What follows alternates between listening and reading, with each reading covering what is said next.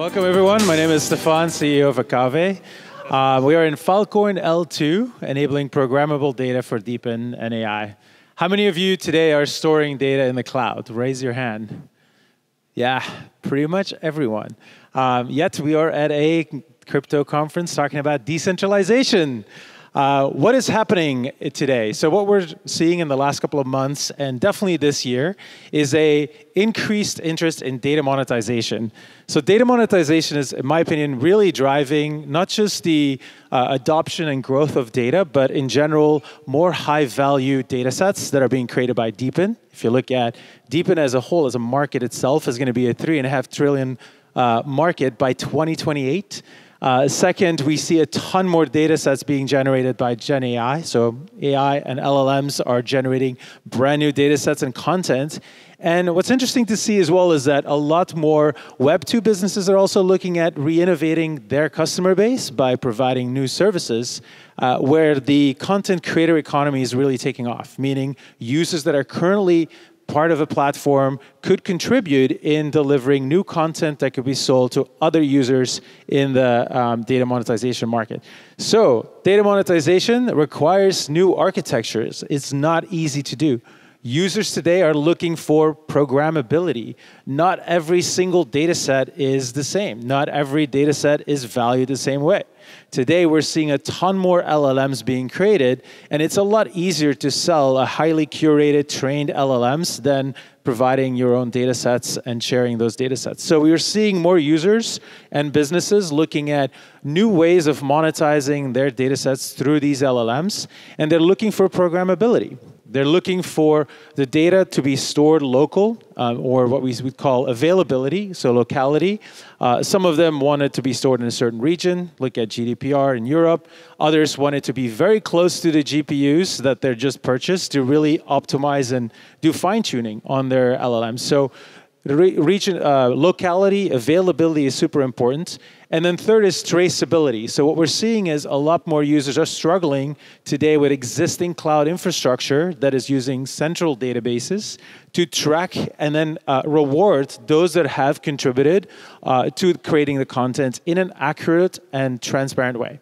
So traceability is very important, definitely as you're growing and scaling out your uh, uh community. And uh, more importantly is also demonstrating the verifiability proof of ownership, guaranteeing that the data that you've created is still the same data and actually is legit, is immutably stored, is validated on a regular basis, those are all key requirements that we're seeing from many customers that we've been talking to in the Akave ecosystem.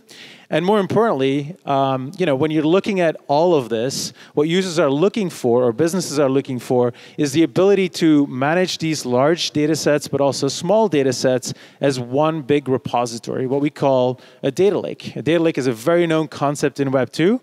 But what's different is that these primitives actually require full new technology, which we all know very well, which is blockchain enabled, um, which gives us the opportunity to create on chain data lakes.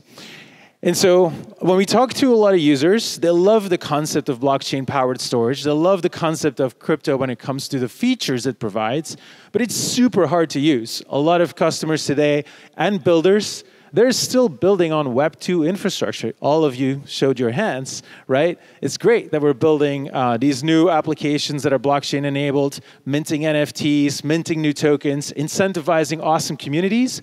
But in the end, like when it comes to storing data, when, it's, when it comes to utilizing compute, it's really, to, it's really hard to use. So users want simple bridges.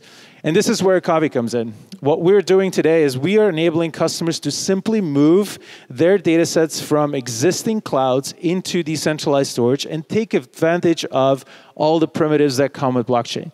First, we provide an S3 compatible API, and that allows users to take their existing Web2 applications and point it to Akave, bring their data sets on chain, save up to 80% cost savings thanks to decentralized storage, and take advantage of the cryptographic proofs to make their data programmable. And what can you do with programmability? You can set your own price. You can define how much it costs for anyone in this ecosystem to retrieve your data sets, so it helps you monetize your data sets. And then, of course, you can replicate, protect, and uh, distribute your data in the way that you would like to organize it. Here's an example of DePIN for a DePIN architecture where an on-chain data lake can be deployed in a hub closer to the Filecoin uh, storage providers, meaning Akave will enable users uh, and current storage providers to uh, manage datasets on the storage provider systems uh, as a hot storage layer. And it can also be deployed in the DePIN devices for those DePIN networks that are looking for end-to-end data provenance from the device all the way to the core data center. Because the closer you are to the creation of the content, the more accurate and the better you can transparently reward back those content creators without any dispute. So today, um, users can not only store data on Akave, um, but we also support subnets. Why is that important? It's important because when you're talking to enterprise customers, they want certain security um, uh, attributes, meaning they want, they want to run some of these uh, storage nodes in their own data centers. And for us with Akave, we support uh, multiple subnets. One subnet could be very customized for an enterprise. Second one could be uh, optimized for a DePIN network, or it could be optimized for a specific community. And so the benefits here is that with this ability, we can enable more L3s, and we can customize it to what those users really want, and optimize it not just for performance and cost, but also for security. Now, if you look at the market, how big is the market? Now, the object storage market on its own is already a $134 billion market this year alone. And I'm talking just about the nearline and archive storage. This does not include all the new data sets that are being created by DePIN and AI use cases. This is just the market that exists today in Web 2 that we can go after. So again, the market is huge, the opportunity is big, and now is actually a good um, this year specifically is a really good opportunity for us to go after this market because no, more and more enterprises, more and more DePIN networks are coming to life and are understanding the benefits and the importance of a verifiable storage stack. And it's our belief that in the future, all transactions will happen on chain and all data transactions will happen on chain. And this is what we are trying to enable here with Akave. Now, what is our biggest announcement of today?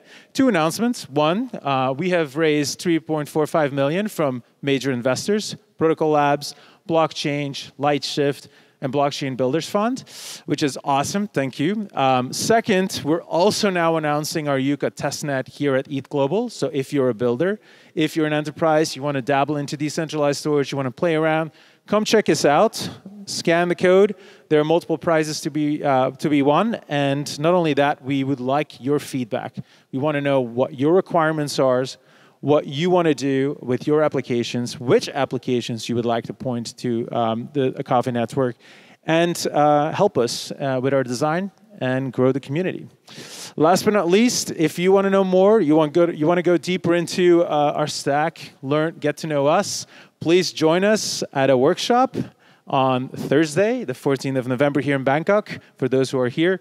If not, uh, please connect with us on our website, on Discord, and yeah, looking forward to meeting you all. So thank you very much.